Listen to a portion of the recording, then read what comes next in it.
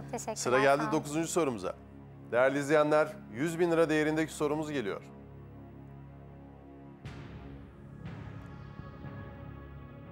Başka bir yerden gelen kimseden geldiği yerle ilgili küçük de olsa bir armağan beklenir. Anlamına gelen atasözü hangisidir? A. Bakkaldan gelenden helva isterler. B. Ahırdan gelenden süt sorarlar. C. Kümesten gelenden yumurta beklerler. D. Değirmenden gelenden poğaça umarlar.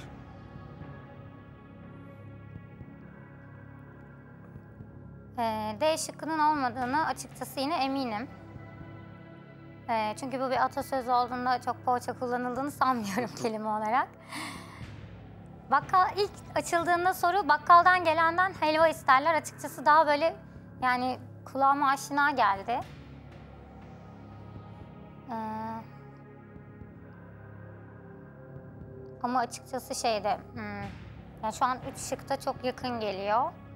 Ama A şıkkı daha baskın. Riske atıp atmama konusunda biraz kararsızım. Ne denebilir? Ahırdan gelenden süt sorarlar. E, genelde bizim atasözlerimiz şeydir, sonları kafiyeli ve uyumludur. Hı hı.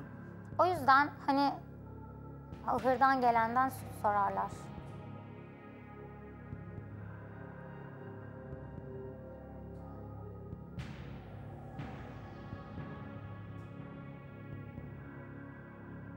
Ahır demezler de ağıl derler miydi acaba o dönemde?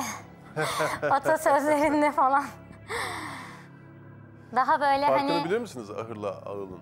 Yani e, ağıl, ahırın e, daha şey yerel söylenimi diyebiliyorum. Benim bildiğim ağıl... Bizim Trakya, ben Trakyalıyım da orada Evet. bizim öyle derler genelde o yüzden tabii. Mesela İç Anadolu'da ağılda küçük hayvanlar, küçükbaş hayvanlar olur. Ahırda büyükbaş hayvanlar olur. Evet doğru. Bu belki yöresel olarak Evet. değişebiliyordur ama hani bizim Yani oralarda genelde öyledir. ahır, Ağılda ağıl. koyunlar olur, ahırda inekler olur.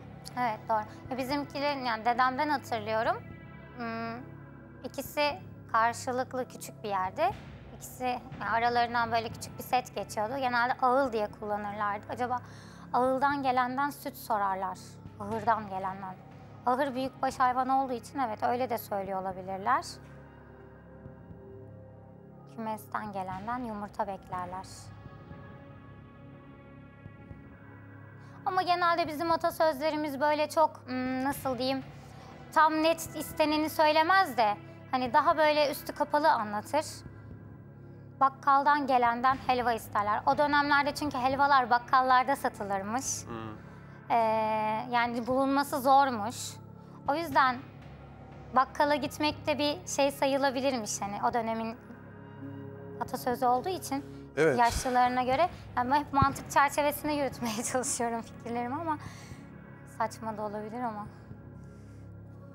Çift cevap joker hakkınızı kullandınız. Evet, şu an şu ilk anda bir- tercihinizi hangisini yapacağınızı düşünüyorsunuz Evet, şu an çekilmekle e, riske alma konusunda kararsızım.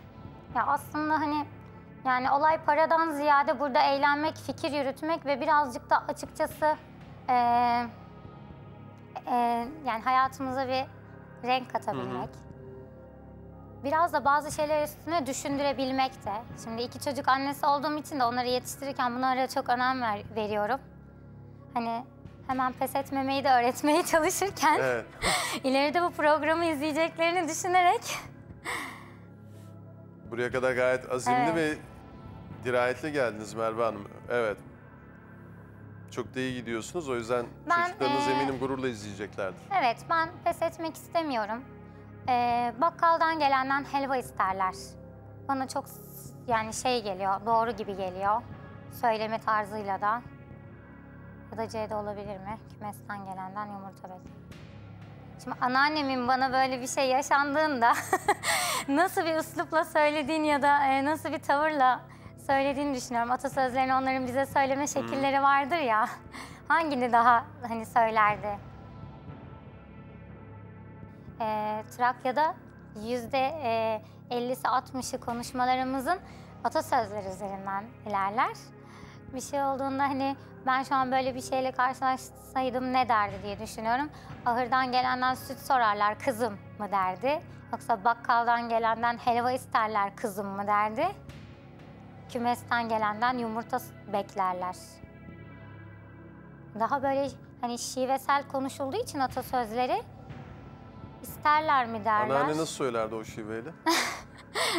Bakkaldan gelenden elva isterler veya B şıkkı. ağırdan gelenden süt sorarlar Ağırdan. veya ağırdan derler çünkü hey'i kullanmadıkları için. Yani diğerinde çok bir şey değişmez ama Şimdi böyle bir nostalji yaptınız. evet.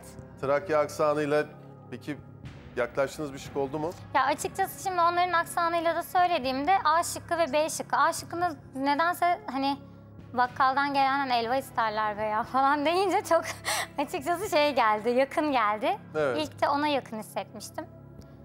Cevap vereceğim ben. Çekilmek istemiyorum. Ee,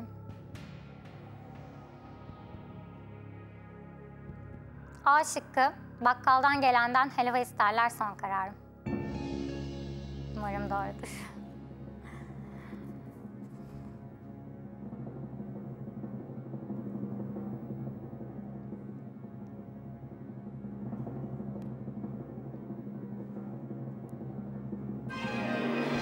Hiç düşünmediğim bir şık çıktı. Evet. Hem ilk başta elediğiniz şık. Ya evet şu an açıkçası gerçekten çok şaşırdım. Hani hiç poğaça... Ya poğaçayı biraz kruvasan muamelesi yaptınız. Evet açıkçası Biraz öyle oldu. nedense.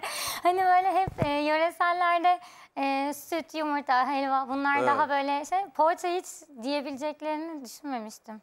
Nasıl geçti Neyse. yarışma sizin için Merve Hanım? Yani çok keyif aldım. Gerçekten bir bir şey daha öğrenmiş oldum. E, emin olduklarımdan da hızlı gitmem gerektiğini öğrendim. Evet. Birazcık e, garanticiyim sanırım. Kendimi de bu yönde birazcık E, iki jokerinizi öyle evet, kullandınız. Evet, evet. Biraz garanticiyim. E, onun farkına vardım. Ama yine de barajı Evet. geçtiniz. 100 Evet. bin liralık soruyu gördünüz. Tebrik Evet. ediyorum ben Merve Hanım. teşekkür ederim ama çok keyifliydi. Ee, hiç ummadığım bir şekilde geldim buraya. Kızımın şansına geldim. Ee, benim için keyifli olan sizle tanışmak ve burada yarışmaktı. Çok teşekkür Ben ederim. Çok teşekkür ederim. naziksiniz. Çok Tebrik ediyorum. Kutluyorum. 30 bin lirayla uğurluyorum. Böyle alayım lütfen. Merve Hanım. Buradan. Kusura 30 bin bakmayın. liranız. Tebrik ederim. Çok teşekkür ederim. Sağ olun.